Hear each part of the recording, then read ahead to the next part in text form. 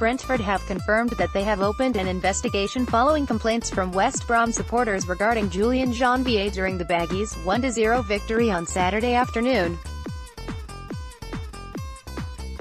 The travelling supporters were reportedly unhappy with the conduct of the defender, as he allegedly reacted aggressively. This occurred as he was jeered by the away fans when his momentum took him off the pitch after chasing down the ball. The Express and Star is reporting that he responded to the fans by spitting back at them.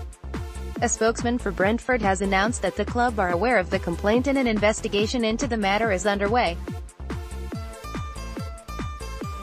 The game ended 1-0 to the visiting side, with Kyle Edwards netting the only goal for West Brom.